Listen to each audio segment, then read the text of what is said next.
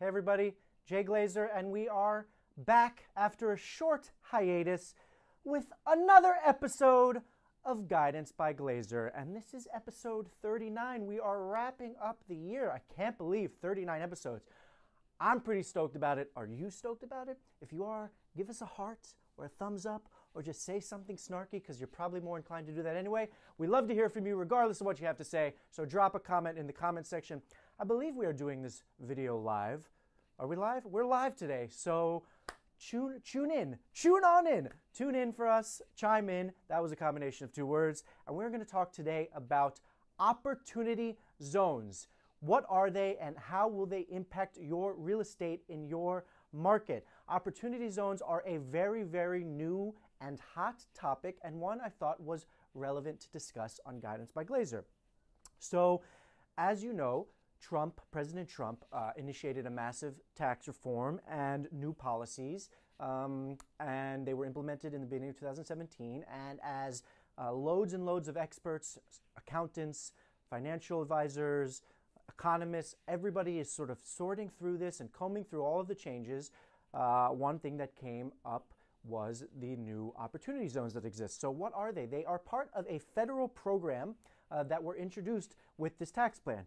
Um, so it's not necessarily the most overwhelmingly interesting topic, but it's important because it will definitely have an impact in your marketplace, especially here in New York City. And if you are in an urban setting, will have a massive impact. So we're, we, we want to get into it. We're going to talk about it briefly today. But again, fair warning, not the sexiest topic we've ever talked about on Guidance by Glazer. But since I'm so sexy, it'll be fun. Just kidding. I'm not that sexy. Um, so, opportunity zones. As I said, new federal tax program uh, introduced in the new Trump tax reform. The purpose of these opportunity zones, so they say, uh, is to incentivize real estate investors and developers to build in low income communities. So essentially, you have designated zones, hence opportunity zones, that uh, will be, um, there'll be certain incentives, which I'll discuss, that will convince developers um, and real estate investors to buy and build and develop a neighborhood, right? So to bring up uh, a certain neighborhood that might not have the um, influx of cash and equity that allows it to become a great neighborhood or revitalized neighborhood. So, uh, what are these benefits? So, the program will um, basically allow a developer to defer what's called capital gains. So, when you sell a home, a property investment, home, whatever it is, you have to pay capital gains tax. So if you leave the money in the zone, meaning you're really, really invested in the zone, that's what the incentive is, for at least 10 years, you will never have to pay capital gains. So if you were listening to our video when we did that with Andrew Luftig, uh, Esquire, Mr. Andrew Luftig, Esquire, we uh, talked about 1031 exchanges. And 1031 exchanges, the value there is you're basically rolling over your capital into a new property. So by staying committed to real estate investment, which is one of the lifebloods of the American economy, you essentially get a benefit of not having to pay capital gains. The opportunity zone structure is exactly the same. If you invest in this particular location, in, in a specific zone, for 10 years, you will avoid having to pay capital gains. So essentially, if you roll your money into a neighborhood, say you invest $10 million, $5 million, whatever it is, $100 million into a neighborhood, and you make a ton of appreciation on your property, you won't have to pay taxes on that. That is huge. That is a massive, massive incentive. So, um, as a result, you are seeing huge, huge real estate funds being formed. An opportunity zone fund in the size of $250 million. I've seen $700 million. I've seen a billion dollar funds that are being formed, essentially collecting investors' money, their own money, pulling it all together to deploy capital into building and or buying into these zones because in 10 years when they invariably appreciate, you will get massive massive tax savings. Experts, as they say, estimate estimate, they estimate, they estimate that uh, potentially in the span of these 10 years, you could have um, returns of over 44%.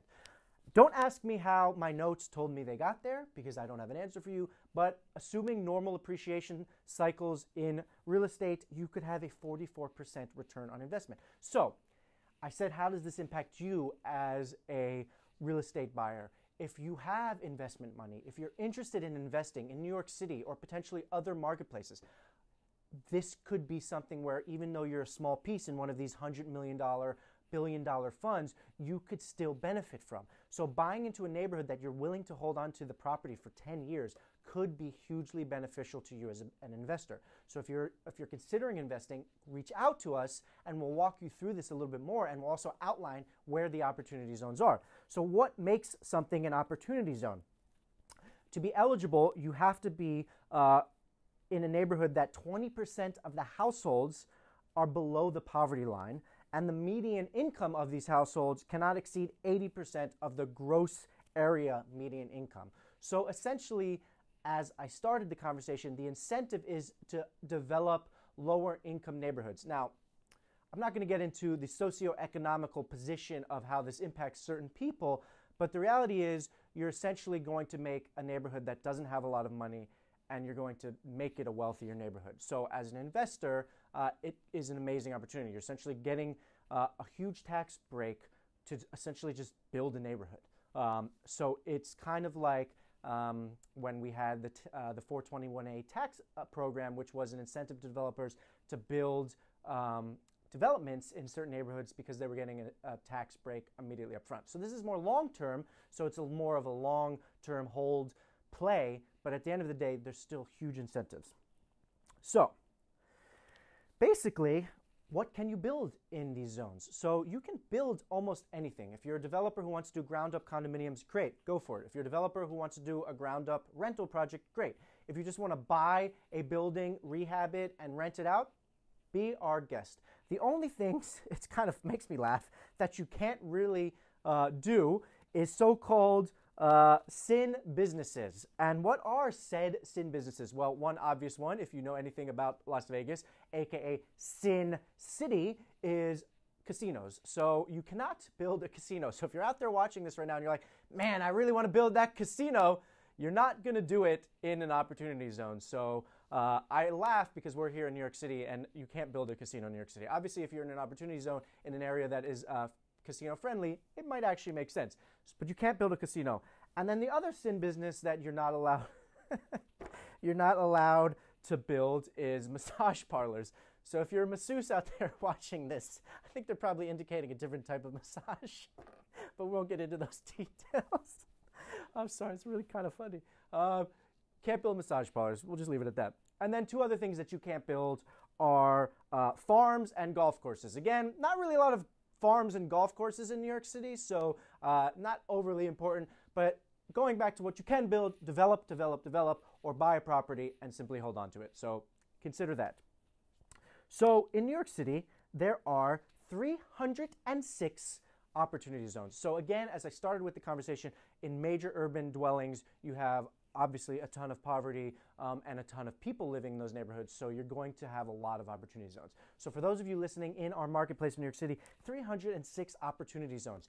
We will happily send you a map that we have found and pulled. It's not necessarily that easy to find this information uh, that we have found and pulled of these opportunity zones if you're interested. I have looked it over, and there are actually some really, really intriguing neighborhoods that I wouldn't necessarily view as bad places to invest or up and coming. I think they're good neighborhoods now, so they make an even more compelling argument for why you should invest in them. So reach out to us for that information. Drop your email or your contact information in the comments, and we'll send it over to you, or shoot us a message, and we'll happily get that over to you. Um, that's pretty much it, folks. Property property zones. Nope, opportunity zones is what they're called.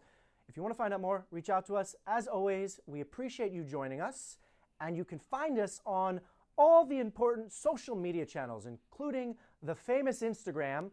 Our handle is The Glazer Team. Facebook, which is how you're finding us now. So obviously you have a Facebook account. So follow us, Glazer Team, where you get juicy tidbits all the time from me and our team.